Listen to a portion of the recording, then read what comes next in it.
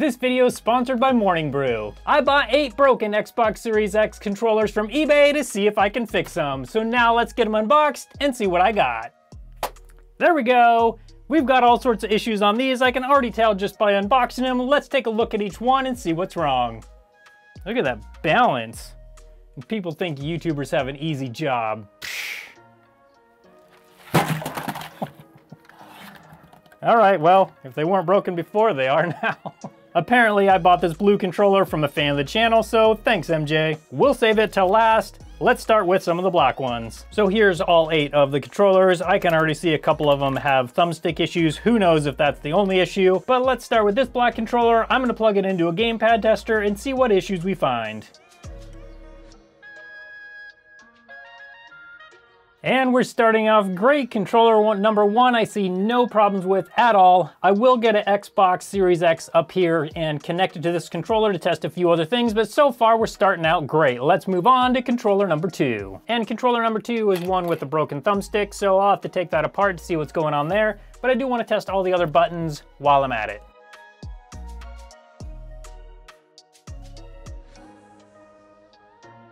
Now controller number three.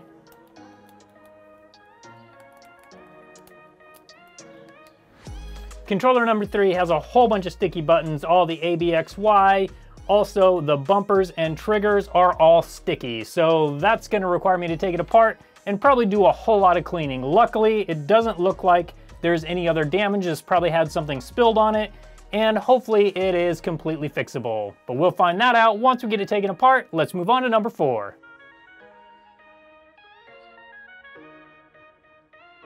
So we'll have to test this with the console as well. Now it's time for number five. And number five is another one that has a broken thumbstick, but we'll test all the rest of it just so we know if there's any other issues.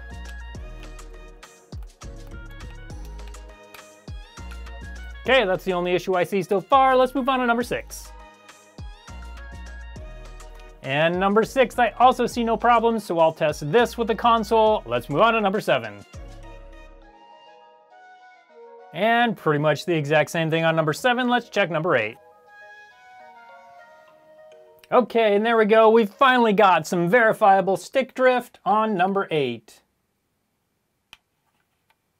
And the right stick drift is the only problem I see on number 8. Now that I've got an idea of what's wrong with some of these, it's time to get them apart. But before I do that, I want to tell you about today's sponsor, Morning Brew. Morning Brew is a free, Monday through Sunday, daily newsletter. Before I subscribed to Morning Brew, I would spend too much time just randomly scrolling my phone looking at whatever news stories came up. But Morning Brew gets me up to speed on business news in just 5 minutes. It's not like the dry, dense, and boring news that you're used to. Morning Brew is witty, relevant, and informative. Morning Is how I love to keep up with business news, and just today I learned about how fast consumer prices are rising and also Domino's Pizza is now delivering pizzas without even having a driver. There's absolutely no reason not to subscribe to Morning Brew if you're into business, finance, or tech. It's completely free, Takes less than 15 seconds and you can go down to the description right now and sign up today. Morning Brew is my favorite way to get my news and I think you're gonna love it too. Now let's get back to fixing these Xbox Series X controllers. Since we haven't found any problems with number one yet, we're gonna start with number two that has this broken right stick. It's also got a piece rattling around in there. So let's find out what that is.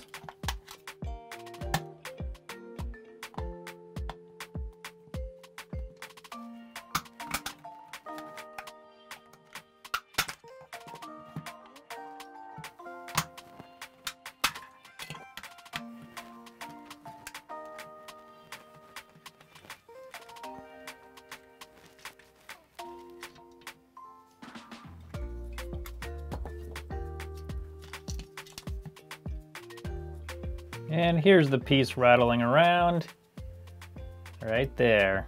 We've also got a plastic piece stuck right here. There we go.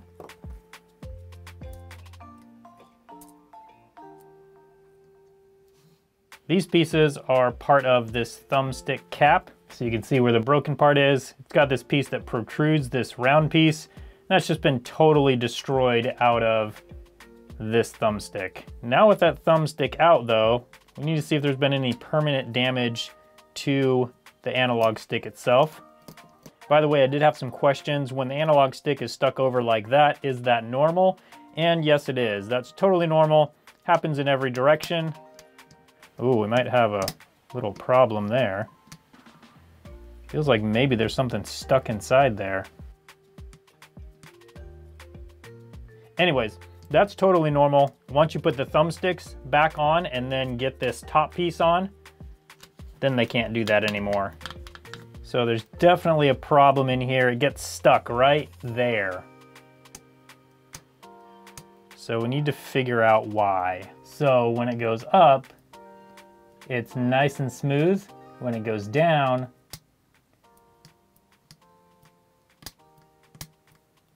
you can hear it's just hitting against something and just like grinding against it. I'm not sure what's going on in there. I'm not sure whether something's fallen in there or whether it's just been damaged. By the look of this thumb cap that's broken, I mean, something's probably damaged in there because somebody was really hard on it.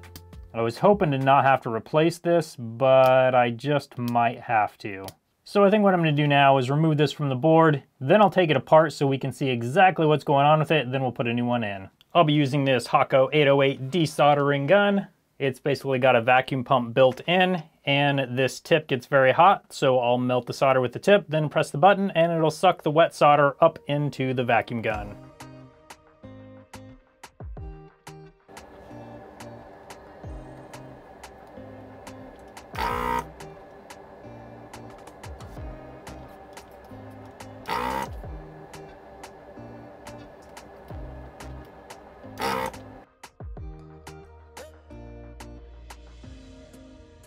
So I've removed this small board from the rest of the controller and I've desoldered all the mounting pins on this analog stick. So now I just need to pull it off the board and then we'll take it apart and see what exactly is going on with it.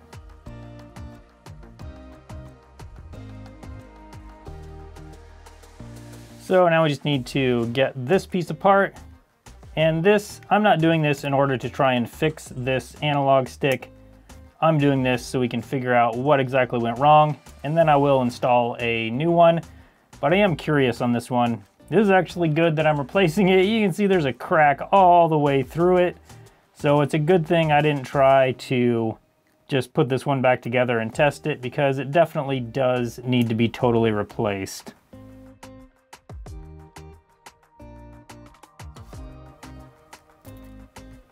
Wow, this is definitely not coming apart how I thought it would. It's just kind of coming apart in pieces because it's just all busted up. Now this little piece right here might have broken off of that, but it also could have been inside here. Probably not gonna be any way that we're gonna actually figure out what exactly was causing that problem on it. But it still could be interesting to see the inside of this thing. And there we have it. That is what the very inside of the analog stick looks like and you can actually now see what the problem with it was. If you look on this side, this piece is just kind of sitting down inside there, kind of flush with this white piece right here. This one is sticking out, and that's because it's broken. There we go. That was the cause of our problem. So I'm glad we could figure out the exact cause of this problem. That's always fun. But now it's time to get this one fixed, and I'm gonna do that by installing a new analog stick, then we'll put it back together and test it. Also, this is why you need to be careful with your thumbsticks.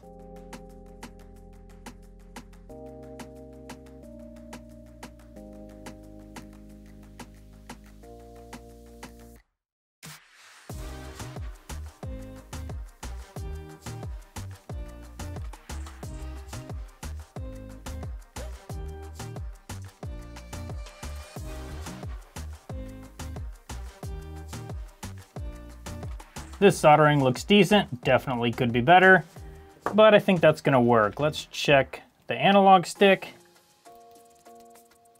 Okay, I think that's gonna work pretty well. Now I'm gonna get it put back together so we can test it.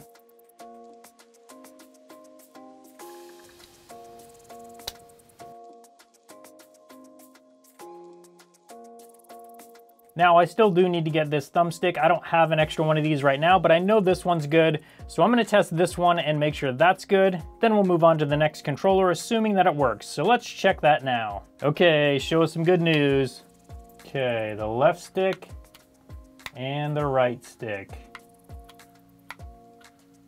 And that is great news. Controller number two is fully fixed. Now let's move on to controller number three, the one with the sticky buttons. So basically all of these buttons are super sticky. I'm a little afraid about what I'm gonna find inside this one, but let's take it apart and see how bad it is.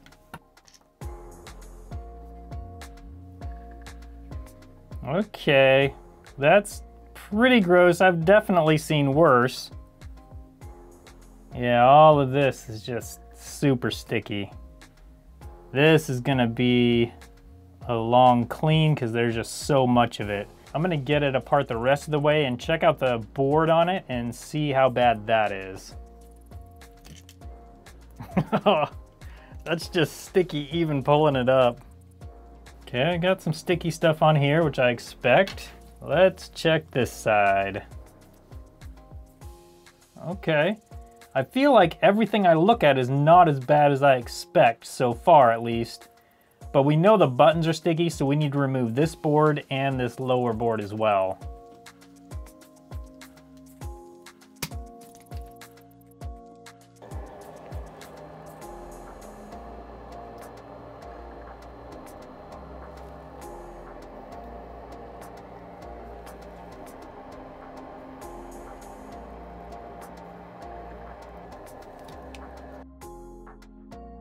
Now we have all the screws out. Let's get this board out of here.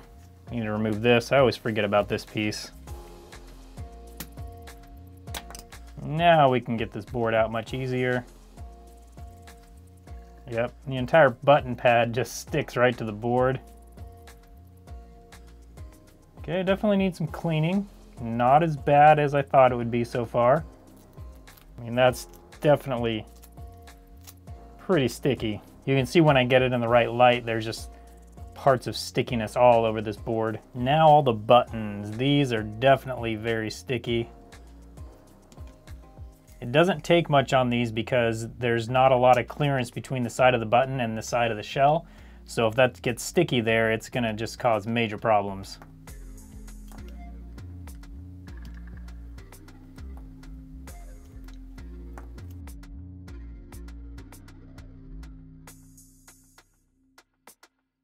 Okay, and here we go. This is kind of the base shell of the controller. This is gonna be almost like a total controller rebuild, except for just total controller cleaning. So I'm gonna go through with Q-tips and just clean all of the stickiness off of this. Then I'll put each piece back in one by one as I clean them. And by the time we're done, we should have a nice clean controller. I'm gonna be using Q-tips and isopropyl alcohol for this. Some of the stuff that's really sticky, I'm gonna go through and just soak it in the IPA. And then when I come back to wipe it off, it'll kind of soften the sticky stuff. And that'll just make it come off a lot easier. And I guess it's time for you to sit back and enjoy a cleaning montage.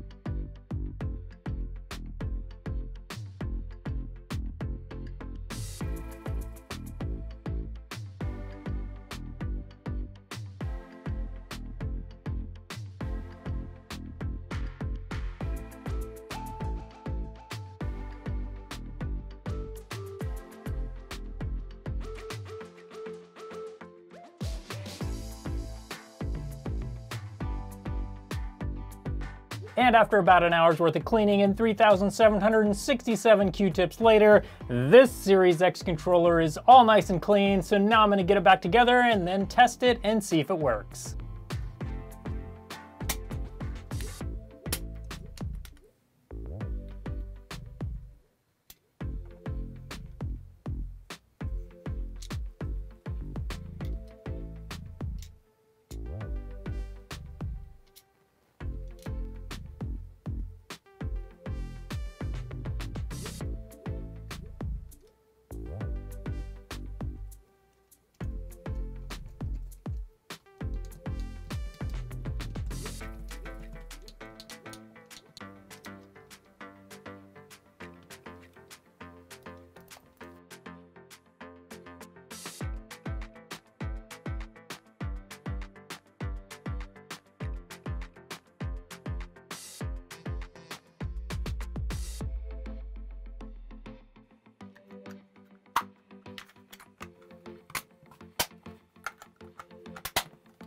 Okay, and how do the buttons feel now?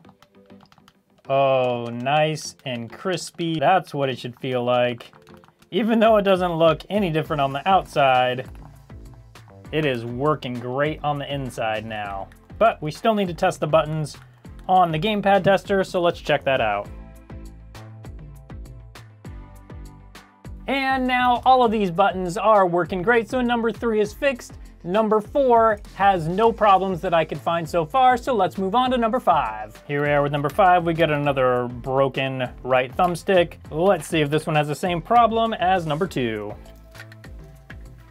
That's probably not ideal. Let's see what all the broken pieces are in this one. Okay, so this piece came out already. So it looks like we got the same problem. That piece has been broken out of the inside of this thumbstick, but let's check and see how the analog stick is that's mounted on the board. Oh, here's the other piece. But is the analog stick broken? Oh, maybe not. This one actually looks and feels really good. And just looking at it under here, I don't see any cracked or broken pieces. So I think this analog stick is fine.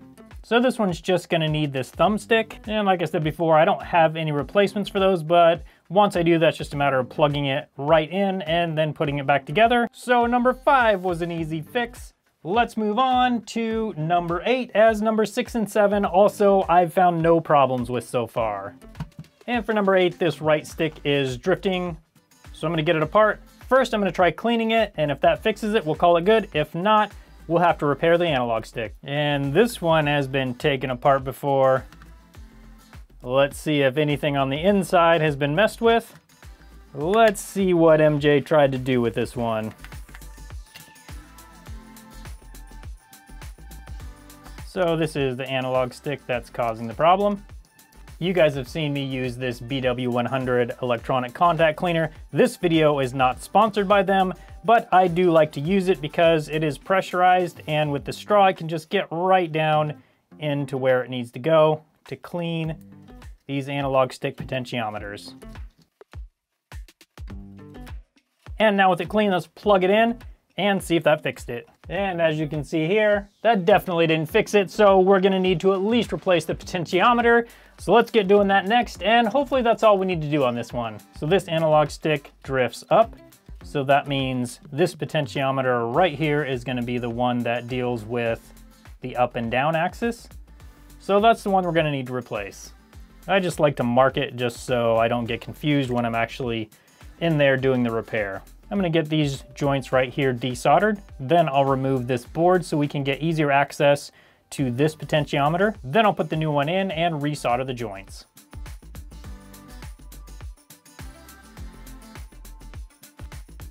Okay, and let's see if we can figure out why we couldn't fix this one just with cleaning. And I don't know how well it shows on camera, but right here, this contact and this contact, actually all the contacts are just plain worn out. So now it's time to install a new potentiometer. I'm just gonna steal the potentiometer off of this analog stick. That way, instead of replacing the whole analog stick, I can get two repairs out of one of these because I can use this potentiometer for one repair and I've already used this one for another repair. There's a little clip right here and a little clip right here.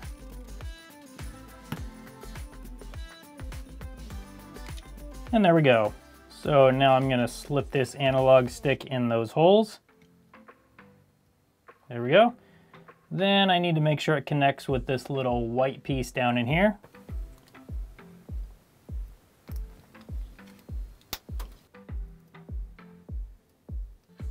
And there we go. Now I just need to solder those three pins on down there and we'll be ready to test it.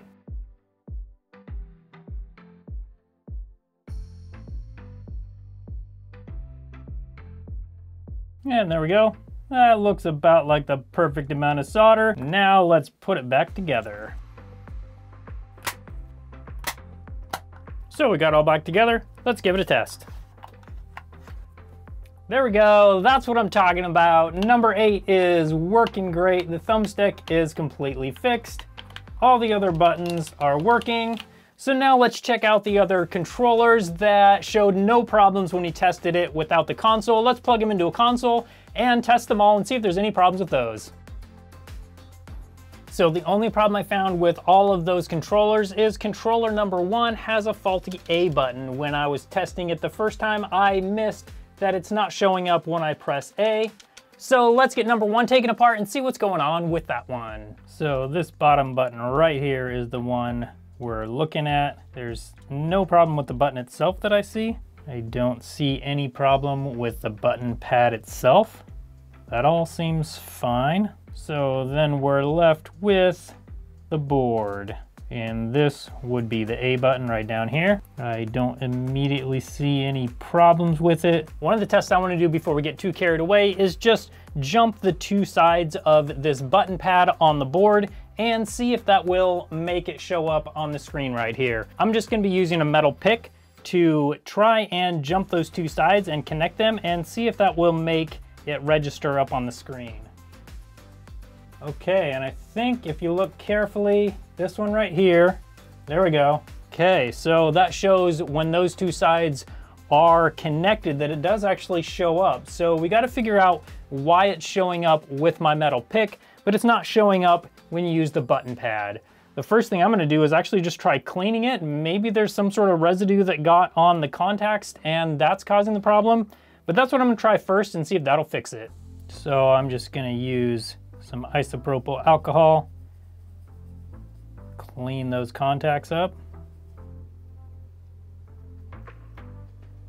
Now this is how the button pads go. Hey, there we go. And it's working. Did it really just need a little bit of cleaning? I'm gonna get it put back together and let's see if it'll work. Okay, and here we go. B, Y, X, and A. Yeah! So number one is now fixed. If you like this video, you'll probably like the video where I bought a bunch of PS5 DualSense controllers and basically did the same thing, tried to fix them. If you'd like to see that video, I'll put a link up on your screen now so you can come hang out with me and see if I can fix those ones. Thank you to Morning Brew for sponsoring this video. Once again, I'll put a link down in the description if you'd like to subscribe to Morning Brew. So all of these eight Xbox Series X controllers either didn't have a problem or are now fixed. Thank you so much for watching and I hope you have a good one.